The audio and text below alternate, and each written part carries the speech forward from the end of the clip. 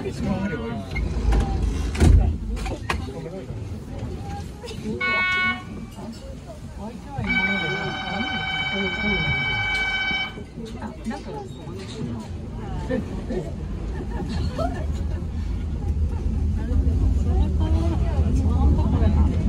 待たせいたしました。濃尾平野にそびえ立つ自然と歴史の方向。銀火山に別れを告げただいまより山を下ってまいります。この山は昔は稲葉山と呼ばれておりましたが戦国時代織田信長公はこれを銀火山と統一して呼び井の口を中国の古字に習い岐阜と改めたと言われたでございます。今を去る500年前の戦国時代に国取物語などで有名な斎藤道三公は京都から美濃へ乗り込み美濃を制する者は天下を制すると豪語し美濃の実権を握り理想的な国づくりをしたのです。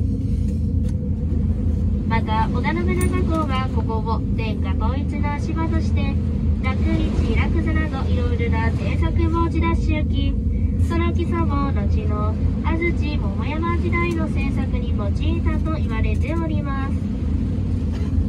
ただいま下ってまいります。岐阜公園はその昔道三公信長公の館のあったところで四層建てのその御殿の立派な言葉京都の金閣寺をしのぐほどであったとポルトガルの宣教師ルイス・フロイスの書簡に記されております。またこの公園は明治15年に開園され園内には世界でも大変珍しい。名は昆虫博物館とその研究所同年この公園で防犯に刺され板垣シストも自由は死せずと名言も残した板垣大輔の銅像がございます。行く手の左下に見えております。緑の屋根の建物は岐阜市歴史博物館で館内には織田信長公が活躍した岐阜城とその城下町をイメージした体験型の博物館となっております。またこの公園付近には一切橋の橋門で張り合わせた高さ13.7メートルの間室大仏や老三公ゆかりのお寺浄財寺などがございます。